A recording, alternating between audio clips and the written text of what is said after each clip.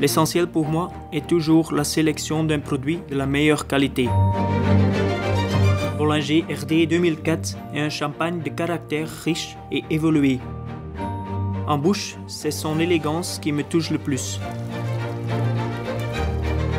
Pour exalter l'éclat de cette cuvée, j'ai élaboré un riz de veau en croûte à la truffe dont la texture sublime la minéralité du vin.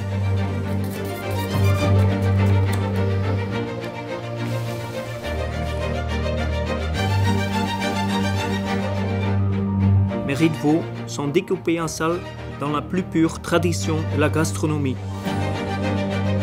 C'est peut-être aussi ça l'audace, revisiter les grands classiques.